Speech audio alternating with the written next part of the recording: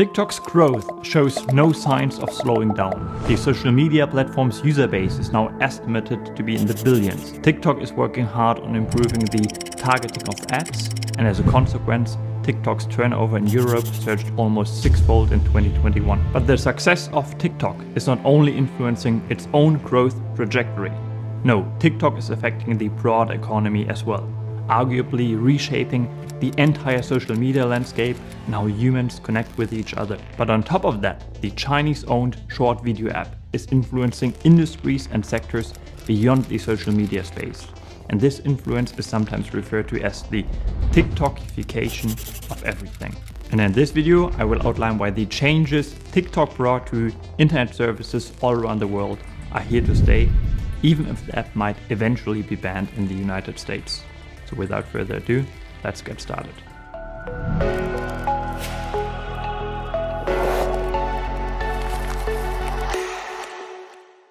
Alright, my impression is that the Chinese owned video app TikTok has helped accelerate two major phenomena. The first might be described as the TikTokification of social media, and the second one might be referred to as the TikTokification of the internet. And before I get into the details of these two phenomena, let's just very quickly highlight the phenomenal rise that the TikTok app has experienced over the last four years. So the short video app was first launched in 2018 after the parent company ByteDance acquired the app Musical.ly and merged it into TikTok. And as of today, according to Statista data, TikTok has more than 1 billion monthly active users, making it the fourth biggest social media platform following Facebook slash Instagram, YouTube and WhatsApp, which each have at least 2 billion active users. And if you look at another metric, namely the time spent on each platform, as of 2022, TikTok may very well already be considered more successful than the aforementioned competing platforms as users use TikTok on average for almost 46 minutes a day compared to 30 minutes they spend on Instagram, for example. But TikTok's rise also comes at a cost. You'd expect a company that was generating revenues of 61 billion US dollars in 2021 to be profitable, right? Well, according to a recent Wall Street Journal report, TikTok's parent company, ByteDance, posted operating losses of more than 7 billion US dollars in 2021, more than tripling the losses of 2022. And the report states ByteDance revenue continues to expand, up nearly 80% to 61.7 billion US dollars in 2021. But so too are the company's expenses as it focuses on growth. The Chinese company's cost of sales came in at 27.4 billion US dollars for 2021, up 79% from the previous year. Among the factors offsetting its rapid revenue growth, 14.6 billion in research and development spending and 19.2 billion in selling and marketing expenses. With these numbers out of the way, let's focus on the influence TikTok has on the broader economy.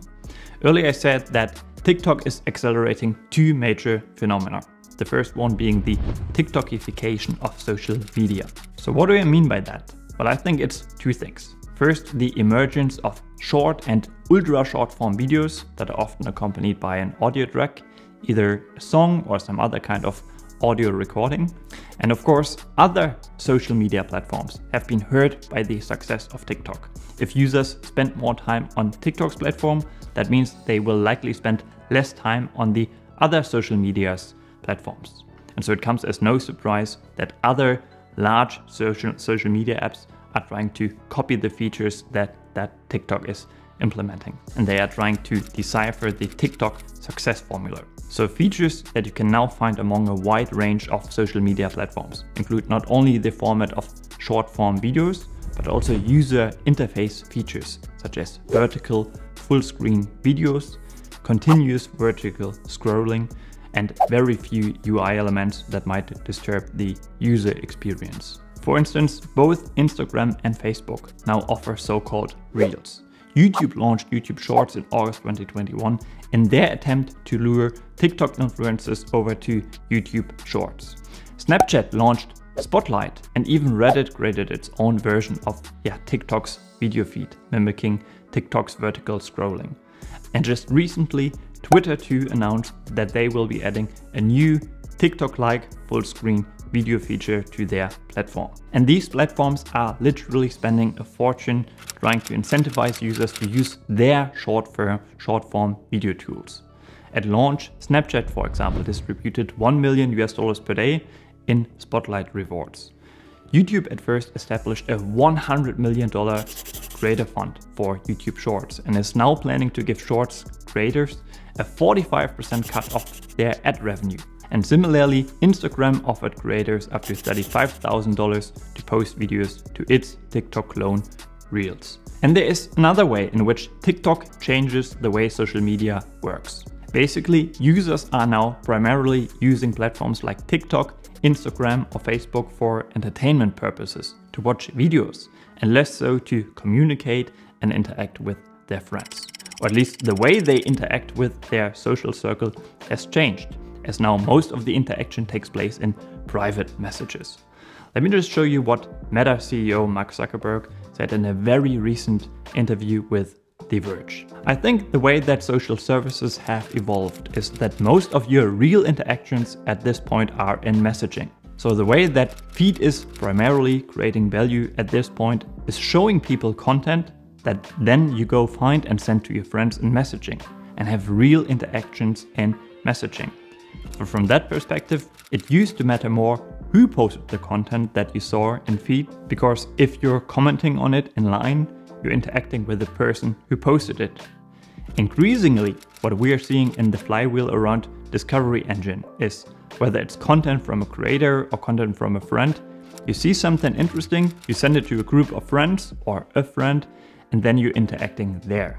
That actually does facilitate real interactions between people. Now, the second phenomenon that I wanted to talk about is the TikTokification of the internet, meaning that TikTok is not only influencing social media companies, but also companies outside the realm of social media. What you might not expect, for example, is that TikTok is not only threatening Google's video platform, YouTube, but also its core Google services, including Google Search and Google Maps. For example, a senior vice president at Google is quoted saying, in our studies, something like almost 40% of young people, when they are looking for a place for lunch, they don't go to Google Maps or search, they go to TikTok or Instagram. And again, when it comes to the TikTokification of the internet, I want to highlight two things, two developments. First, there are also companies operating in different, different sectors that are now making changes to their platforms, user interfaces and layouts trying to make them, yeah, less clunky and distilling them down to, yeah, a few overly simplified features. Provide a few examples here. The NBA app, for instance, added a vertical video feed of sports content to its app. A so-called Spotify Canvas is a 3 to 8 second Spotify video loop that is shown on the mobile Spotify app while you play a song. Supergreat is an app where people can review and share their favorite beauty products. And I'm sure you can come up with many other examples of this TikTokification of everything. Feel free to share your ideas in the comments down below. Now, the second way in which TikTok is changing the broader economy is the emerging relevance of AI, so artificial intelligence, to recommend the best content, the best products, be it the best real estate property or the latest fashion trends, to recommend the best job or the best suited dating partner. Obviously, the idea that data is the new oil it's not new, and, uh, and AI itself is also not new, but AI is becoming more and more relevant. In recent years, artificial intelligence recommendations have become more and more visible to the user itself. On TikTok, it is literally called For You. And for certain companies, their data has become a major competitive advantage, which is important to understand for investors. Let me once again quote what Meta CEO Zuckerberg recently said with regard to the possibilities that artificial intelligence now has, now has to offer as AI capabilities have improved dramatically over the past few years. He said, the basic thing is when we got started with Newsfeed, we were years away from having the technology to be able to do the content understanding on each post in the system, understand what they are about, understand what you care about, and then be able to recommend you in real time, basically with very low latency, content that you might be interested in. from across tens of millions or hundreds of millions of posts that are out there. If you think about it, it's actually a lot easier of a problem to basically take the several hundred things that your friends and the accounts that you follow have posted today and just rank them in the order that you might want to see them. And we're not necessarily recommending your content. You've chosen to follow those people. We're just making sure that, okay, if your cousin has a baby, you're not going to miss that. Whereas if someone just posts a ton of stuff and you always ignore it, posts again, that maybe that's a little further down or something. And I think you're right that TikTok really showed that a bunch of these things were possible. The AI technology to now not just be able to rank the content that you're following from friends, but also really be able to actually do a very good job of basically recommending content from the whole corpus of content that's out there and making that be good. That's something that I think has only really started being possible in the last few years. Zuckerberg is obviously primarily talking about social media here. But my point is that such AI driven discovery engines are now not only used on social network networks. Look at recruiting, for example. LinkedIn and most of the world's biggest job search sites. They use AI to match people with job openings. For instance, their tools help recruiters as well to find suitable talent and employees that are optimized for the likelihood of making a successful hire. Similarly, you can encounter personalized discovery engines in the e-commerce space. Etsy, whose mission statement is keep commerce human, ironically uses AI for the search engine to deliver the most relevant and personalized search results to its users.